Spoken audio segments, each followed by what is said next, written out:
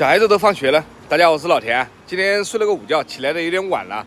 呃，就是时间长的菜来不及烧了，买个简单的菜烧烧啊。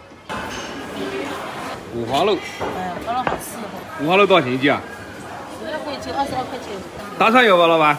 有。就这个啊。对。来上一小把。好的。炒上一盘就够了。差不多。大蒜来两个，七块钱。嗯。菜买好。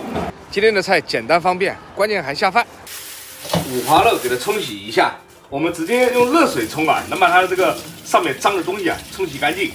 今天我们这个五花肉是要给它切成肉片的，这个软软的呢是没办法切的啊，所以说我们要给它切成这个一段一段的，放在冰箱里给它冻一下。大家看这个五花肉买的还可以啊，这个要稍微肥一点才好吃的，后面呢它就容易起泡泡，所以说你更要给它冻起来以后才好切。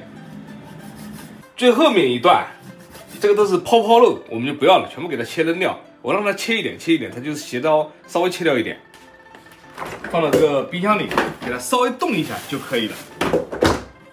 大蒜的根部啊，我们给它一切切掉以后呢，再剪一下，不好的这个叶子就给它撕掉。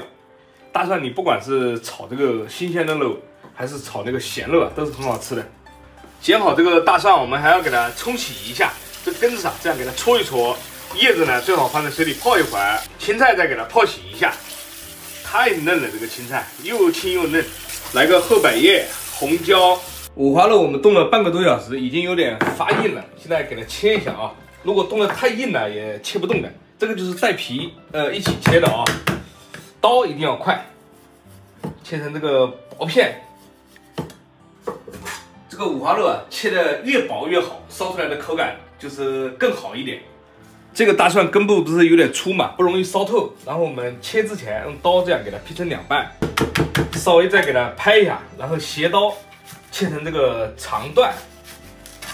准备了半个红椒，我们直接给它切成丁就可以了，增加它的这个香味和颜色。小青菜稍微有点长，我们从中间给它切两刀。这个后百叶，我老婆说切细一点，呃，口感相对来说更好一点说。最后我们就是切点这个姜蒜，就可以上锅制作了啊。我们这个锅要给它烧到冒烟，然后滚烫的时候呢，我们再来少加一点点油，把这个锅给它润一下。看到了没有？烟全部起来了。这个时候呢，我们开小火，这个就是热锅凉油。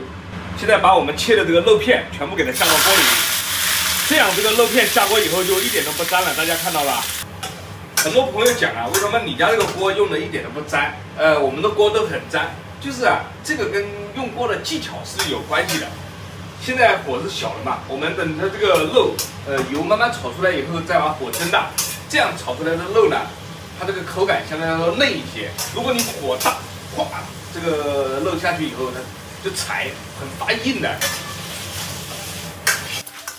五花肉在锅里，你看油全部出来了。有点微焦，这个状态就可以了啊。现在这个肉啊，这个时候是很嫩的。先放一点这个姜蒜，料头的香味要给它先爆出来。放一点黄酒，现在呢火大一点，给它爆一下。来上一点生抽，少放一点底盐入个味。大家觉得颜色不够，可以少来几滴这个老抽，但这个老抽千万不要多啊，老抽多了之后颜色会容易发黑。这个肉闻着真的好香啊！这个油要多一点呢，油不多了以后，蒜叶下锅以后呢，会有点太干。我们先放入这个红椒，红椒一起给它炒一下。红椒啊，烧熟了以后，吃这里面是甜甜的，它不辣。呃，如果喜欢吃辣呢，可以放那个线椒的啊。大家看到没？这个食材，这个肉片多诱人呐！差不多这个时候呢，我们放入这个蒜叶。把这个蒜叶和这个肉呢一起给它翻炒一下，这个时候呢再少放一点点盐，来上点糖，来一点胡椒粉，少搁一点灵魂的老干妈，开最大火给它翻炒一下就可以出锅了啊！这个蒜叶在锅里一翻就可以了。